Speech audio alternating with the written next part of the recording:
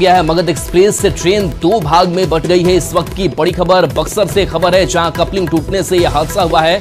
बताया जा रहा है कि चलते समय बोगी दो भागों में बट गई। टूडीगंज और रघुनाथपुर रेलवे स्टेशन के बीच एक घटना हुई है।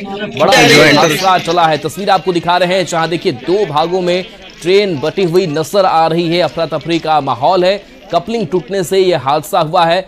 चलते समय ही बोगी दो भागों में बट गई और ऐसे लोग दहशत में आ गए और इस पूरे मामले को लेकर के अब जाँच की बात कहीं भी जा रही है। तो ये बड़ी खबर बक्सर की तस्वीर आपको दिखा रहे हैं जहाँ देखिए यात्री अचानक से दहशत में आ गए। ट्रेन तेज गति में दौड़ रही थी और अचानक से कपलिंग टूटा और कपलिंग कपलिंग टूटने से ये देखिए दो हिस्सों में ट्रेन बटी हुई नज़र आ रही है।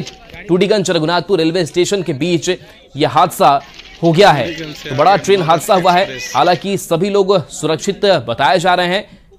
किसी को कोई नुकसान नहीं पहुँचा है।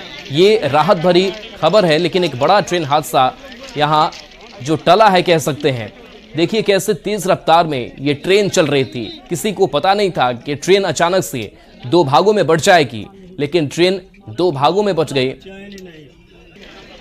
और देखिए पुष्पराज हमारे साथ फ़ोन लाइन पर है। पुष्पराज कैसे कपलिंग टूटा? क्या खबर वहाँ से? इस पूरी घटना के बाद जो रेलवे के बड़े अधिकारी हैं वो मौके पर पहुँचे हैं और जो कपलिंग टूटी है वो कैसे टूटी? बताया जा रहा है कि कपलिंग जो पहली जानकारी मिल पाई है सूत्रों के अनुसार कपलिंग काफ़ी पुराना और जर्जर हो गया था और सबसे बड़ी बात है कि ये बड़ा ट्रेन हादसा हो सकता था क्योंकि ट्रेन वहाँ से जब गुजर रही तो काफ़ी स्पीड में थी। और इसे इमरजेंसी ब्रेक लगा करके रोका गया है और यात्रियों में काफ़ी अफरा तफरी का माहौल है।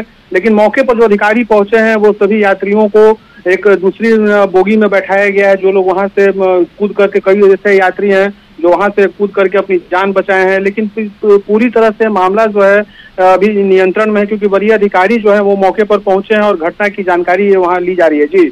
जी। कहाँ से कहाँ ये ट्रेन जा रही थी? क्या शेड्यूलिंग थी इसकी? मगध एक्सप्रेस ट्रेन नई दिल्ली से इस्लामपुर की तरफ़ जा रही थी और बक्सर रेलवे स्टेशन के बाद ये ट्रेन पहुँची थी और टूडीगंज स्टेशन के बाद रघुनाथपुर रेलवे स्टेशन पड़ता है। बीच में ये घटना घटी है। जी।